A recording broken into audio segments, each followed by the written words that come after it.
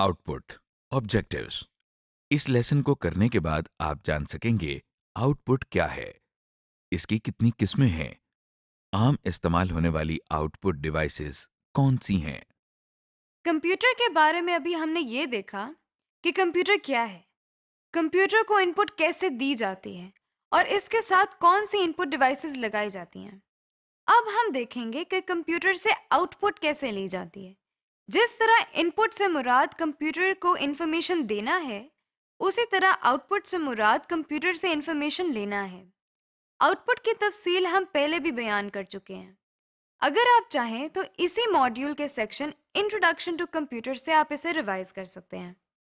Types of output computer से हासिल होने वाली आउटपुट दो किस्म की हो सकती है। आउटपुट की पहली किस्म वो है जो हम सिर्फ़ कंप्यूटर्स की स्क्रीन पर ही देख सकते हैं, यानी वो आउटपुट जो कंप्यूटर के इस्तेमाल के बगैर नहीं देखी जा सकती, इसे सॉफ्ट कॉपी कहते हैं। बाज आपको कंप्यूटर की मदद से किया हुआ काम किसी कागज़ पर मुंतकिल करने की ज़रूरत होती है। इस किस्म की सूरत हाल में आपको कंप्यूटर से जो आउटपुट दरकार होती है, उसे हार्ड कॉपी कहती हैं। यानी हार्ड कॉपी कंप्यूटर की वो आउटपुट है जिसे हम अपने हाथ से छू सकते हैं और जिसको बार बार देखने के लिए कंप्यूटर का इस्तेमाल ज़रूरी नहीं होता। इस तरह हमने देखा कि कंप्यूटर हमें दो किस्म की आउटपुट देता है, यानी हार्ड कॉपी और सॉफ्ट कॉपी। अब हम देखते हैं कि हार्ड कॉपी और सॉफ्ट कॉपी की मदद से हम किस किस्म का डेटा या इंफॉर्मेशन कंप्यूटर से हासिल कर सकते हैं। सबसे पहले टेक्स्ट यानी लिखाई, एक आउटपुट की किस्म है। रोज़मर्रा की ज़िंदगी में खत, मेमो और रसीदें इस किस्म की आउटपुट की मिसाल हैं। इसके अलावा कंप्यूटर से ग्राफिक्स यानी तस्वीरों की आउटपुट भी हासिल की जाती है। आवाज़ या साउंड भी एक कंप्यूटर आउटपुट की किस्म है, जो कि स्पीकर्स की मदद से कंप्यूटर में से सुनी जा सकती है। अगर हम इन तीनों कंप्यूटर आउटपुट की किस्मों को मिलाकर उनका इस्तेमाल करें तो ये मल्टीमीडिया आउटपुट कहलाएगी, क्योंकि इसमें एक से ज़्यादा आउटपुट मीडियम्स इस्तेमाल किए जा रहे हैं। मल्टी का लोकवी मायने है एक से ज़्यादा। मसलन, रोज़मर्रा की ज़िंदगी में कोई सा भी काम या प्रोजेक्ट को बेहतर तरीके से करने के लिए हम प्रेजेंटेशंस का इस्तेमाल करते हैं। इन प्रेजेंटेशंस में टेक्स्ट इमेजेस ग्राफ्स और ऑडियो यानी आवाज़ का इस्तेमाल किया जाता है। आप कंप्यूटर के ज़रिए मल्टीमीडिया इस्तेमाल करके ये काम ज़्यादा आसानी और बेहतर तरीके से कर सकते हैं। आउटपुट डिवाइसेस आउटपुट लेने के लिए जिस डिवाइस की ज़रूरत होती है, उसे आउटपुट डिवाइस कहा जाता है। आम इस्तेमाल होने वाली आउटपुट डिवाइसेस में प्रिंटर्स मॉनिटर्स और स्पीकर्स शामिल हैं। आइए हम इन आउटपुट डिवाइसेस का तफसील से जायजा लेते हैं।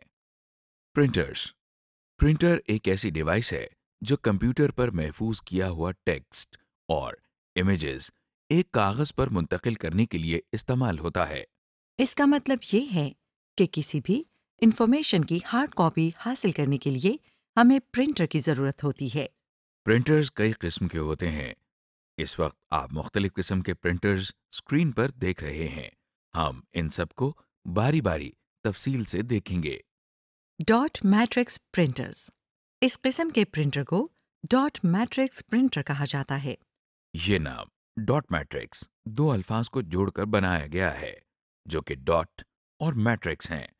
डॉट एक नुक्ते को कहते हैं जबकि मैट्रिक्स नुक्तों के मजमुए की एक खास शक्ल को कहते हैं जैसा कि आप देख रहे हैं। डॉट मैट्रिक्स प्रिंटर एक टाइपराइटर की तरह काम करता है। इसमें नुक्तों की मदद से कागज़ पर अल्फाज बनाने और छापने के लिए पिन्स इस्तेमाल होती हैं। ये पिन्स इंक रिबन पर जाकर लगती हैं जिसकी वजह से इंक पेपर पर मुंतकिल हो जाती है। एक पिन से एक नुक्ता बनता है और बहुत से नुक्ते मिलकर एक कैरेक्टर बनाते हैं जैसे कि आप स्क्रीन पर नुक्तों की मदद से कैरेक्टर लिखा हुआ देख रहे हैं। ये एक वक्त में एक कैरेक्टर प्रिंट करता है। आमतौर पर डॉट मैट्रिक्स प्रिंटर एक सेकंड में 300 कैरेक्टर्स प्रिंट करता है। ये सबसे पुरानी प्रिंटिंग टेक्नोलॉजी है। मशहूर डॉट मैट्रिक्स प्रिंटर्स में एप्सॉन और माइक्रोलाइन डॉट मैट्रिक्स प्रिंटर्स शामिल हैं। लाइन प्रिंटर्स ये जो प्रिंटर अब आप स्क्रीन पर देख रहे हैं इसको लाइन प्रिंटर कहते हैं। ये प्रिंटर भी डॉट मैट्रिक्स प्रिंटर की तरह है। अलबत्ता इसे लाइन प्रिंटर इसलिए कहते हैं क्योंकि ये एक वक्त में एक कैरेक्टर की बजाय एक लाइन प्रिंट करता है। इसमें भी पिन्स एक लाइन और चेन की सूरत में लगी होती हैं। इन पिन्स की मदद से एक लाइन के तमाम कैरेक्टर्स इकट्ठे प्रिंट होते हैं। ये स्पीड और क्वालिटी के लिहाज से डॉट मैट्रिक्स प्रिंटर्स से ज़्यादा बेहतर होता है। आमतौर पर लाइन प्रिंटर की मदद से एक मिनट में 1200 लाइंस प्रिंट की जा सकती हैं। तेज तरीन लाइन प्रिंटर्स में Tally T six two one eight और Printronix P five double two zero शामिल हैं। लेजर प्रिंटर्स ये देखिए ये दुनिया के सबसे बेहतरीन किस्म के प्रिंटर की एक तस्वीर है। इस किस्म के प्रिंटर को लेजर प्रिंटर कहते हैं। ये प्रिंटिंग की क्वालिटी के लिहाज से दूसरे प्रिंटर से काफ़ी बेहतर होता है। ये एक फोटोकॉपियर मशीन की तरह काम करता है। लेजर प्रिंटर आमतौर पर एक वक्त में एक लाइन या लफ्ज छापने की बजाय एक साथ पूरा पेज छापता या प्रिंट करता है। आमतौर पर इसके ज़रिए एक मिनट में छह पेजेस प्रिंट किए जा सकते हैं। लेजर प्रिंटर्स में पाउडर्ड इंक एक कार्ट्रिज में डालकर इस्तेमाल की जाती है। मगर ये प्रिंटर्स कीमत में दूसरे प्रिंटर्स के मुकाबले में कुछ महँगे होते हैं। ज़्यादा इस्तेमाल होने वाले लेजर प्रिंटर्स में एचपी लेजर जेट और सैमसंग शामिल हैं। इंकजेट प्रिंटर्स अब जो प्रिंटर आप स्क्रीन पर देख रहे हैं इसे इंकजेट प्रिंटर कहते हैं।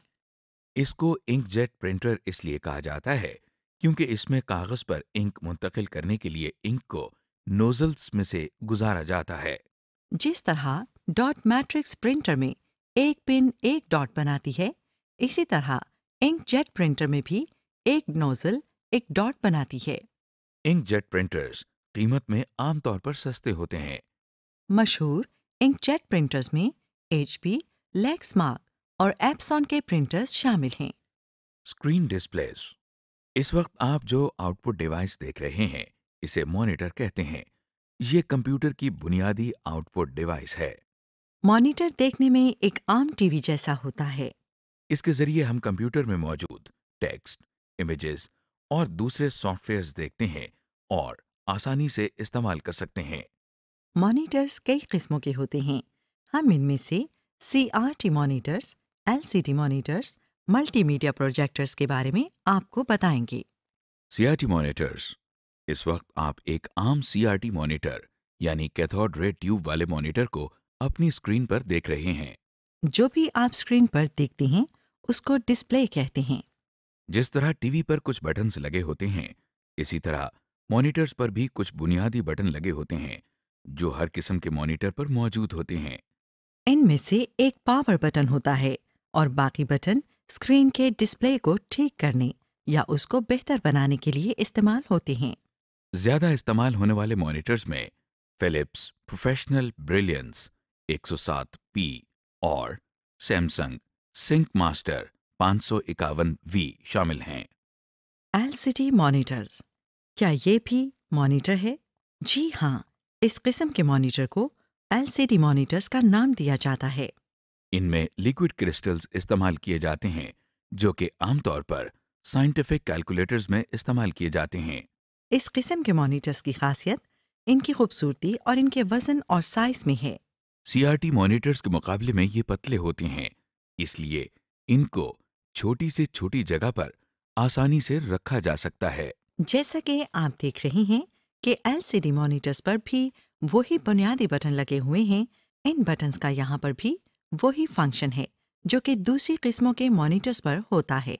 मशहूर एलसीडी मॉनिटर्स में Samsung sync master LCD Sony LCD monitor और डेल एलसीडी मॉनिटर शामिल हैं।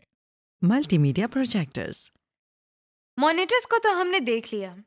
अब हम मल्टीमीडिया प्रोजेक्टर्स के बारे में सीखते हैं। कभी आप सिनेमा घर गए हैं? क्या आपने कभी सोचा कि जो फ़िल्म आप अपने घर में छोटी सी टीवी स्क्रीन पर देखते हैं, वही फ़िल्म एक सिनेमा के अंदर बड़े पर्दे पर कैसे नज़र आती है? ये सब कमाल मल्टीमीडिया प्रोजेक्टर का है। इसे मल्टीमीडिया प्रोजेक्टर इसलिए कहते हैं क्योंकि ये ना सिर्फ़ मॉनिटर की डिस्प्ले को बड़ा और enlarge करता है और किसी पर्दे या दीवार के ऊपर प्रोजेक्ट करता है बल्कि इसके ज़रिए हमें आवाज़ भी आती है।